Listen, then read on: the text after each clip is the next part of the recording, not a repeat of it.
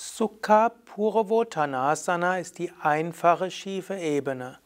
Zwei Variationen von Purvottanasana werden als Sukha bezeichnet.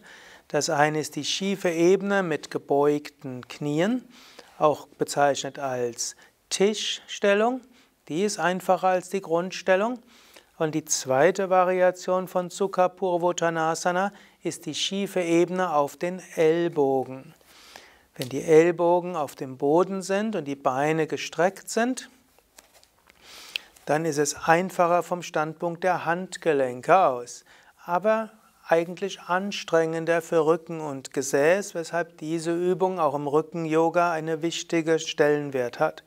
Noch mehr Sukha kannst du haben, wenn du hier die Knie beugst und die Fußsohlen am Boden hast. Und so hast du gebeugte Knie und gebeugte Ellbogen. Und auch wenn die jetzt sehr Sukha Sukha aussieht, sehr einfach, hat sie, stärkt sie trotzdem Gesäß- und Rückenmuskulatur und auch etwas die Oberschenkel.